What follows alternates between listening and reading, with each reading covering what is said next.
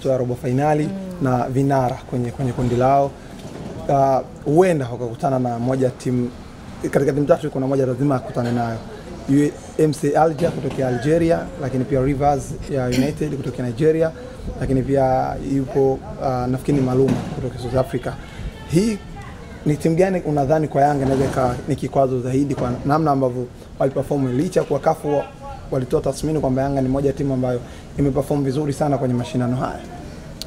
Um, kwa hatua ili, iliyopo hivi sasa ni hatua kubwa sana, na ndio maana hata mwanzo kabisa kwenye hatua ya makundi uh, tulivyokuwa tunazungumza huko nyuma, au kila mmoja na mtazamo wake, tulikuwa tunaona Yanga huenda asinge yani fanikiwa kwa kiasi hiki kikubwa sana kwa, kwa namna tu alivyokuwa anatazama kundi lilivyo, lakini mwisho wa siku uh, wamekuja kuprove kwamba ni timu ambayo ime, imewekeza kwa kiasi kikubwa sana na ndio maana wamefanikiwa kufika hapa walipofika. Na Yanga chini ya kocha Nabi uh, kama ambavyo nimezungumza, uwekezaji waliofanya kwenye usajili waliofanya ndio ambao unawalipa sasa hivi. Kwa hiyo kama haukutegemea Yanga ingeweza kufanya vizuri katika hatua ya makundi ikafanikiwa imefanikiwa kufika hatua ya robo fainali, basi wanaweza wakafanya chochote kile. Unashangaa, unaweza ukawaona wako nusu fainali, unaweza ukawaona wako fainali na huenda wakachukua kombe. Sio kitu ambacho hakiwezekani. Katika mpira kila kitu kinawezekana na tunaamini hivyo. Kwa hiyo hata kama fainali labda inaweza ikawa ni hatua kubwa sana kwa Yanga, basi hata hatua ya nusu fainali wanaweza wakafanikiwa kufika kutokana tuna namna ambavyo wanacheza, kutokana tu na namna ambavyo wanajitoa, yani wachezaji wanapigana, unaona kabisa kwamba hapa kuna kitu Yanga wanakitafuta, na ukweli wanafanikiwa, wanashinda, wanasonga mbele. Kwa hiyo hizo timu zote ulizozitaja hapo, kiukweli kwa hatua hii ni ngumu, hatuwezi kusema ni hatua rahisi, lakini kwa namna ambavyo Yanga wamejipambanua kwa msimu huu, yani wanahitaji kila kitu kiukweli kabisa, wanahitaji kila kitu yani kiingie kwenye, kwenye kabati lao la, la, la kama sio historia basi hata makombe waweze kuyachukua. Kwa hiyo mimi naamini lolote linawezekana. Hata kama sasa hivi nitasema timu fulani ni ngumu, inaweza ikamsumbua Yanga, lakini uh, alikotoka mpaka hapa alikofikia, mimi naamini lolote linawezekana. Usishangae tunaenda kumwona Yanga kwenye hatua ya nusu fainali. Profesa jana kwenye benchi kuna na timu na perform na inapata matokeo. Amekuwa ni kipenzi cha wanayanga. Uh, kuna kipindi mzee Mpiga aliwaka baada ya kusikia TFF wanamtaka profesa. akaambia waende Google. Akaambiwa waende Google akatafute ko- ko- kocha. Unadhani ni usajili ama profesa amekuja kuongeza kitu kingine ndani ya Yanga? kitu kikubwa sana, kitu kikubwa sana, na hilo jina sasa la profesa nahisi linaendelea ku, kuwa mahali pake na kufanya kazi kubwa sana, kwa sababu kocha Nabi kiukweli kabisa, yani amesha ameshaona kwamba kuna kitu fulani nikikifanya ndani ya Yanga napata matokeo fulani, na ndio maana mara nyingi sana amekuwa hata aki, akiwa amewachezesha wachezaji fulani akawatoa wachezaji wengine sub, tunakuja tunaona matokeo yanayopatikana. Kwa hiyo hii kitu nahisi ndio ime- imemsaidia sana, yaani amekuwa afanya rotation uh, ya baadhi ya wachezaji ambao hawatumiki, lakini yeye anawaamini anawatumia na maisha yanaendelea. Tofauti na klabu zingine, unaona wachezaji wanakuwa hawapati nafasi sana ya kucheza. Siku akiingia dakika mbili, dakika tatu, anachokifanya unashika kichwa, unasema huyu ndo maana ana, anasugua benchi. Lakini kwa Nabi naona hiyo imekuwa tofauti kwa kiasi kikubwa sana. Sasa hivi watu wanamzungumza Baka, utaacha ku, ku, mimi utamzungumza Baka bila kumtaja kocha Nabi katikati hapa amezungumza sana Moroko, Moroko, Moroko, watu mpaka akafikia hatua akawa anasema usajili huu sio, lakini sasa hivi Moloko anazungumzwa kwa mazuri anayoyafanya, lakini hayo ni kwa uchache tu, ila kiukweli kabisa Nabi ame, ameipatia timu ame, ameisaidia Yanga kiasi kikubwa sana, na ndio maana imefikia mafanikio haya ambayo Yanga wako nayo mpaka hivi sasa. Kwa hiyo pongezi nyingi kwake. Na ndio maana ukasema Chelsea wanamwinda. Ah, yes, ni utani tu wa mtandaoni huo, yeah. Sawa. Uh, Yanga tayari wamejipambanua, wameshajipata Yes. usajili, wameshalipa, lakini walishtuka baada ya kusikia uh, tajiri Mo Dewji kusema kwamba kama Simba na management yake kwa upande wa usajili kiridhia kumtaka Mayele, wao wako tayari kuweza kumchukua Fiston Mayele. Hii watu wakashtuka na Yanga, "Ah, vipi tena, muona kama anatuchanganya ana, ana, ana, hivi? Unadhani kwa nini Simba wanamhitaji Maele? Hawana steka wa namna hiyo? Hivi wana- muhitaji au ni maono ya kauli ya tajiri kama, yes, kama wakiridhiana Sasa mchezaji ambaye anafanya vizuri kwenye ligi, anafanya vizuri kwenye mashindano ya kimataifa hivi, hata kama wewe ungekuwa na timu singe mtamani.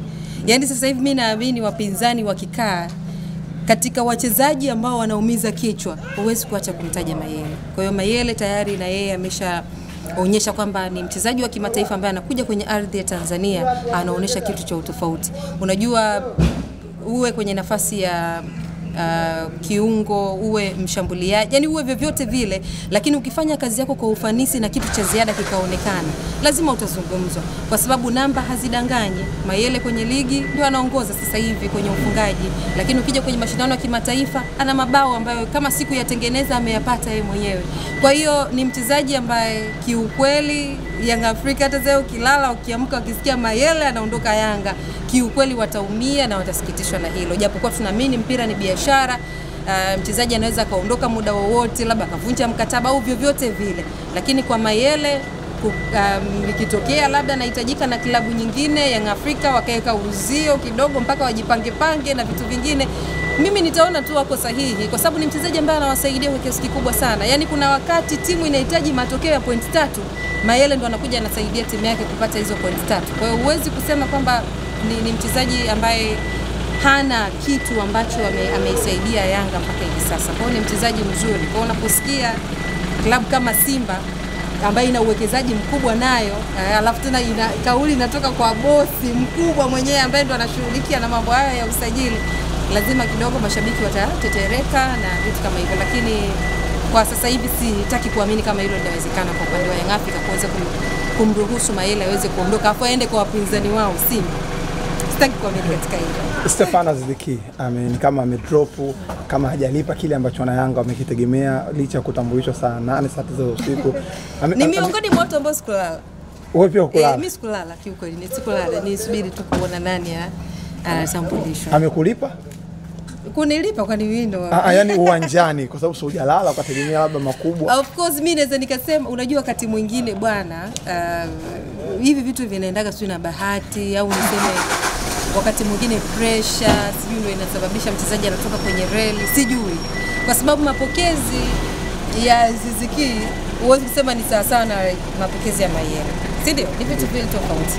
Aziziki kiukweli alifanya watu wasilale, yani Yanga Afrika walilibeba hili jambo yani kiasi cha kwamba mpaka yani ah, sijui yani sijui- sijui unaielezeaje, lakini mwisho wa siku sasa nahisi miluzi mingi pia, wanasema miluzi mingi? Inampoteza, inampoteza yes. Kwa hiyo nahisi hilo pia limechangia. Na, na, na mbali na hilo pia huenda labda tunaweza tukaja kuona kitu tofauti huko mbeleni, lakini kwa sasa hivi kiukweli kabisa hazungumzwi kama vile ambavyo ilikuwa awali. Yani alionekana mchezaji mzuri sana mwanzo tu, kwa sababu tunaamini hata wachambuzi wetu wanavyotueleza kwamba mchezaji, ukitaka kujua mchezaji mzuri, tachi yake ya kwanza tu unajua kama ana kitu au, au hana chochote.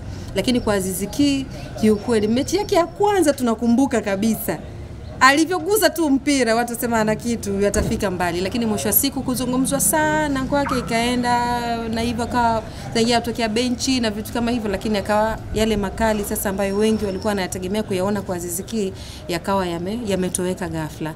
Sasa sijajua kiafya kama yuko sawasawa, siwezi kuzungumza zaidi kuhusiana na, na hilo kwa mchezaji lakini kama ni yuko fiti alafu ndo ame, amekuwa na kiwango hiko, lazima utasema tu kwamba kiwango kimeshuka. Lakini kama kuna vitu vingine ambavyo viko nje ya sisi hatuvifahamu, labda tu, tu, tuyaache hivyo hivyo kwa wachezaji kwa Wana- husika. Wanasema ni, ni, ni masuala ya kimfumo. Watu wanaona Musona amekuja ameclick faster.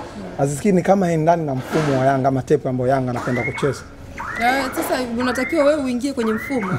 Kama ukishindwa kuingia kwenye mfumo, wale wenye mfumo waingie kwako. Kwa hivyo vitu vyote vili visipoenda sambamba, basi ujue nafasi yako ndo inaenda kufifia. Na mwisho wa siku, mimi sitaki kuamini kwamba ni mchezaji wa kimataifa alafu nafasi yako imechukuliwa na mtu mwingine ambaye anaonyesha kitu kikubwa zaidi.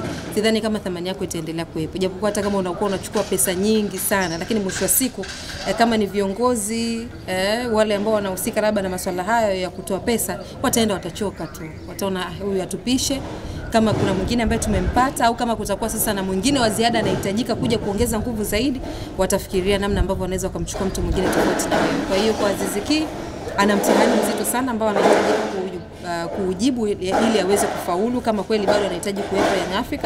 Lakini kama ni tofauti, labda huenda naye ana, anafikiria uh, tofauti ya sisi ambavyo tunafikiria, basi sidhani kama tunaweza tukaendelea kumuona akiendelea kusalia ndani ya Yanga.